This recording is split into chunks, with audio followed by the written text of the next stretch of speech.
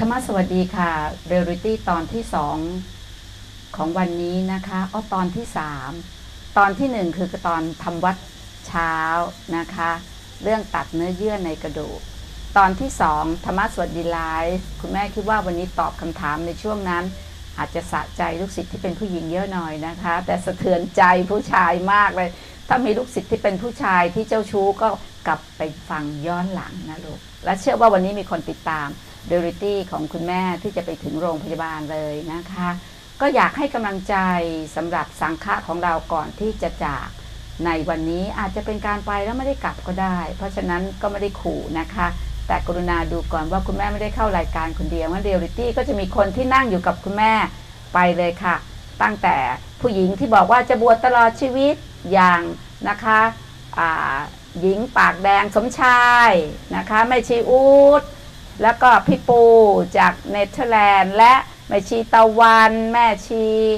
อ้อย แม่ชีกิฟแห่งทาราฟาร์ม แม่ชีนานะคะ แม่ชีน้องนะคะ มนุษย์เลี้ยงควายค่ะ แล้วเศรษฐีเศรษฐียืนขึ้นลูกเศรษฐีจะบวชตลอดชีวิตไหมจ๊ะ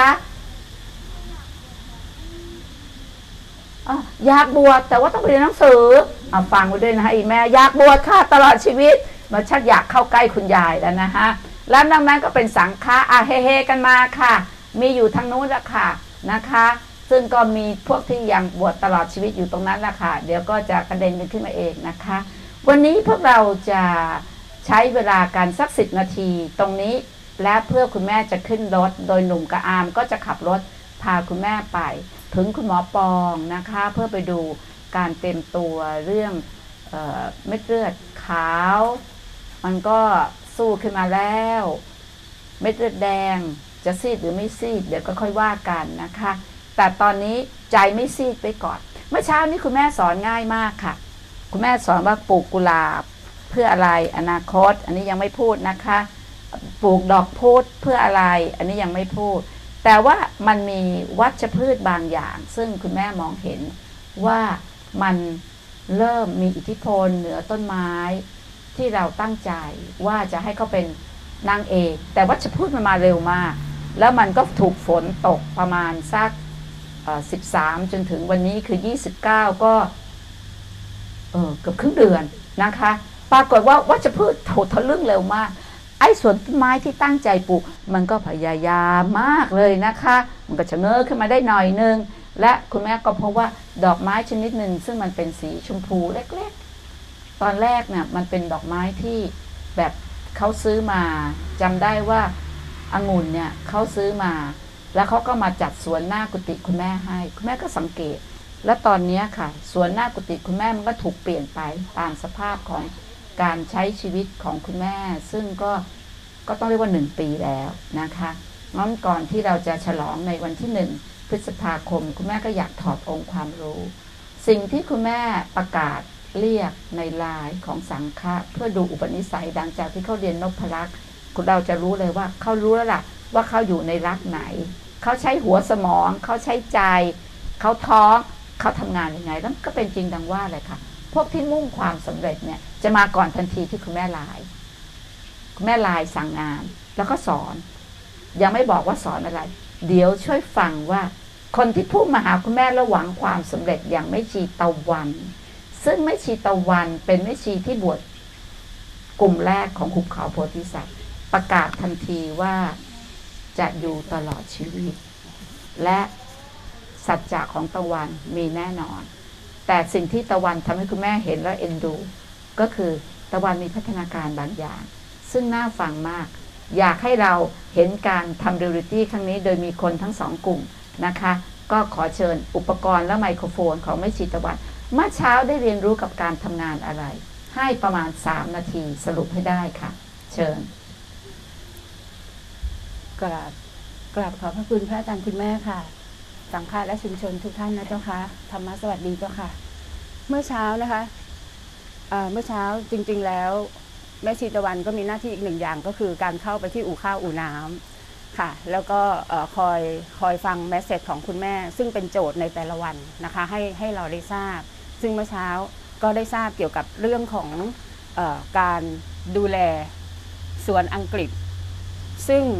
ตอนแรกๆนะคะปีแรกที่ตะวันมานี่ก็เป็นสวนอังกฤษอยู่ แต่ตอนนี้มันมีทั้งสวนอีสาน คือลูกกระทกลกนะคะคือสวนอีสาน แล้วก็มีกระถินซึ่งใช้ทานกับส้มตำได้ มีมายาลาบ มีหญ้ามีอะไรทุกอย่างเลย แต่โจทย์ที่คุณแม่ต้องการก็คือว่าต้องการ ต้นนี้ไว้โทษนะเจ้าค่ะอ่า ต้นนี้นะคะ คืออ่าเป็นดอกไม้ที่อาจารย์องุ่นเอามาลงเป็นสวนอังกฤษ ซึ่งมันก็จะปลูพรมแล้วก็สวยย้อยสวยแล้วก็มีดอกสีชมพูอมม่วงนะคะ ก็ไม่ไม่ได้เด็ดมาแต่แต่อยู่ในลายมีนะคะแล้วก็อีกอันอันหนึงก็คือเป็นหญ้าหญ้าที่ใช้เป็นแบบสามารถที่จะใช้เป็นพรมได้นะคะอ่าก็คือหญ้าอันนี้ ที่ท่านอาจารย์คุณแม่ท่านปรารถนาที่จะให้ไว้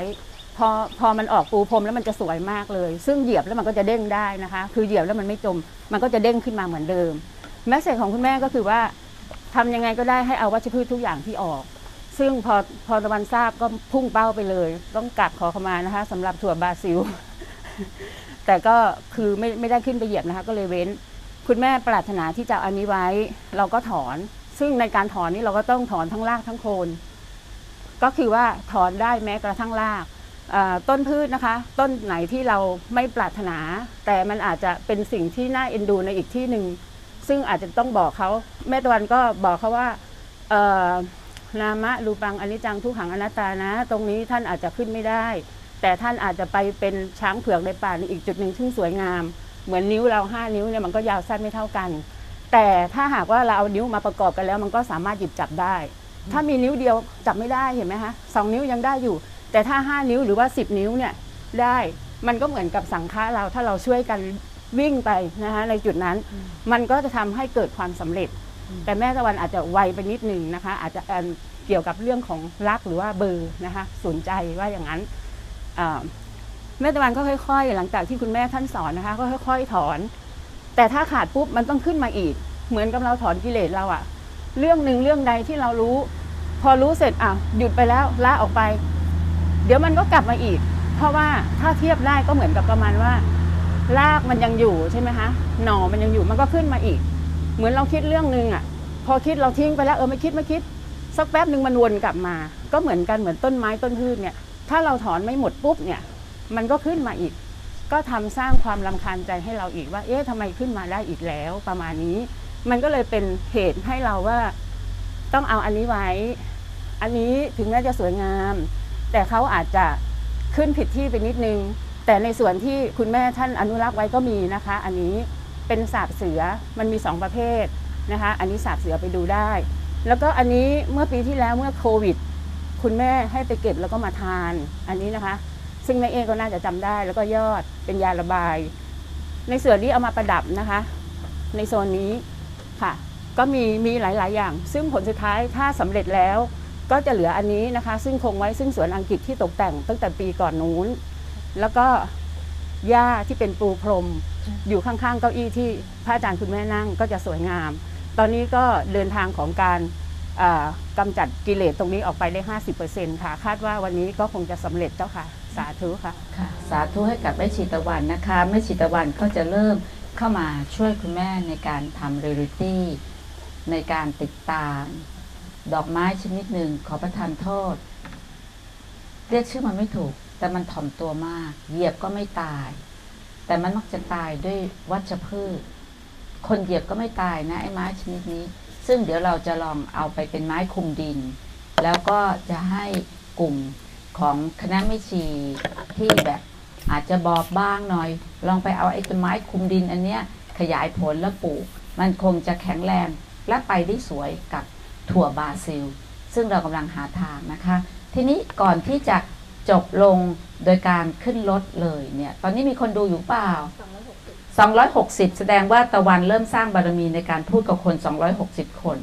ที่ยังตามดูเขานะคะ อันนี้เป็นการ สาธิตการสอนถ้าเกิดคุณแม่ไม่กลับมา ก็จะต้องทำงานเนี้ยเขาบอกว่าเขาจะอยู่ตลอดชีวิตคุณแม่ตายก็ยังอยู่ อีกคนหนึ่งคือแม่ชีนาเคยบวชกับคุณแม่แล้ว แล้วแม่ชีนาเนี่ยพอบวชอีกทีบอกไม่มาอยู่แล้วขอพระทิศาสตร์ไม่มาอยู่ไม่มาอยู่ ไม่เอาจะอยู่เก็บวัชพืชที่มอสที่เสถียรหนึ่ง ปรากฏว่าบอกไม่ได้ ทุกคนต้องมาหุบเขาโพธิสัตว์เพราะมันเรียนรู้ได้ดีกว่าลองถามแม่ชีนาว่าพ่อมาอยู่กับหุบเขาโพธิสัตว์ ตอนนี้เป็นครูพิติ่งเรื่องตัดกุหลาบด้วยนะคะ แล้วทำไมเขาจึงคิดว่าเขาจะอยู่ที่นี่ จากสิ่งที่เขาไม่เคยคิดจะมาได้วยซ้ำและวันนี้เขาคือคนที่สองที่มุ่งไปถึงคุณแม่หลังจากที่คุณแม่สอนผ่านการส่งเสียงเข้าไปในไลน์พบกับแม่ชีนาเลยค่ะ อ่าแม่ชีนาได้เรียนรู้อะไรเอาไปดูซิที่เดียวกันอ่าประเด็นอะไรที่แตกต่างหยิบประเด็นนั้นขึ้นมาเลยจ้ะธรรมะสวัสดีเจ้าค่ะ ก็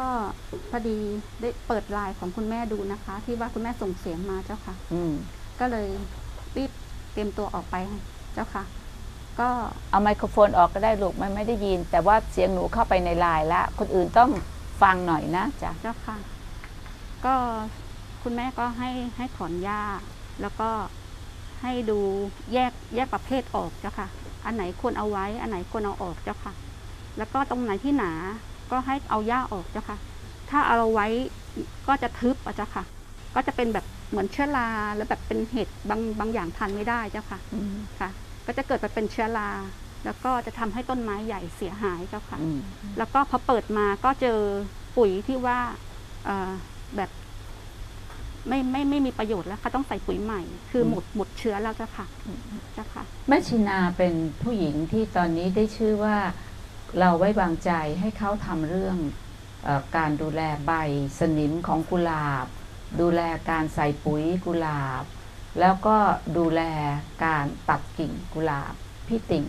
ดูตอนนี้ก็จะรู้ว่าแม่ชินาก็เป็นครูในเรื่องของการกล้าที่จะเอาออกในบางสิ่งที่ถ้าเก็บไว้